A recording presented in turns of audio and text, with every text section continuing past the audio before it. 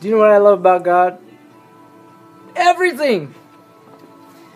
I love everything about God. Everything. What?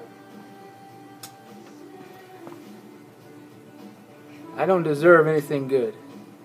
But every good gift and every perfect gift comes down from the Father of lights, with whom there is no variableness, no shadow of turning. He gives us good things. I mean, look, look at this.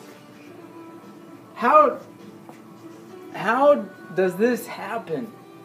That God would give a sinner like me a ministry like this, a coffee house, and all these good things in my life, my family, and my kids, my wife, and all these these ways that God helps us.